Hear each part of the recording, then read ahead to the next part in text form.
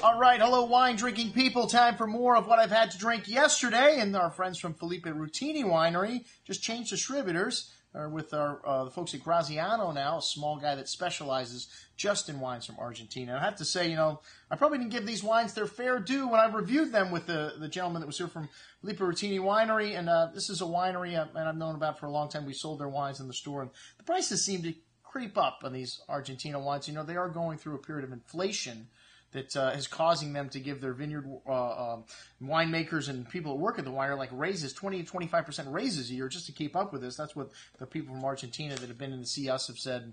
You know, we're going to see it in the wines. We're going to see these wines go up in price. We have to with this kind of inflation. But uh, take advantage of the great values from Argentina now.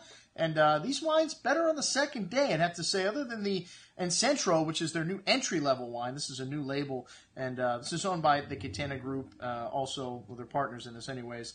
And uh, all estate grown, they have 700 acres of vineyards here all over Mendoza. A lot of it in Tupungato, one of the best areas in Mendoza. Mendoza is a really large province, so a lot of people don't realize how large Mendoza is. It's not like Napa Valley, which is you know relatively small uh, compared to you know Mendoza, which uh, you know it's could could fit like five Napa Valleys in, in Mendoza. Anyways, uh, this wine's got a good amount of ripe black uh, raspberry fruit on the nose, some pretty floral highlights in this wine. Very fresh and forward style with uh, pretty floral notes, uh, short and pleasant finish. And they make a good amount of this wine. It's a workhorse, 15,000 plus cases of things in this in control line.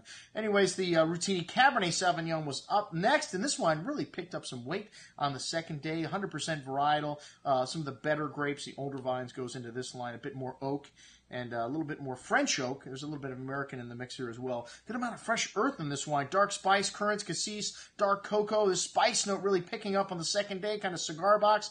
A smooth and easy drinking Cabernet. But like I said, this wine gained a little bit of weight on the second day. I gave it an extra plus uh, when I came in this morning to try it out. Those fine herbs and cedar spice. Uh, some dry tannins coming in at the end, but still really well balanced and a lot of everything. Or a very good bottle of Cabernet Sauvignon with twenty nine twenty five at the price. The winemaker Mariano Di Paola, I want to consider one of the top guys in Mendoza today. This wine's uh, the Malbec from Rutini Sees about 50% new French oak, 20% new America. You get a little bit of that spice in the nose here. And this wine really improved on the second day. I have to say, excellent. I moved it up a whole score here. Ra- black raspberry fruit, some sweet balsamic and violet like floral notes, dark cocoa, sweet tobacco spice. Really nice complexity showing after this wine had a day to open. Wow, really surprising. Bright red and blackberry fruit on the tongue with smooth tannins. But, you know, it's wine's got some substance here. You could definitely age this 2011 very fresh wine for a little while. Some lovely, pretty floral notes showing through on the finish. Excellent juice, and then the Apartado,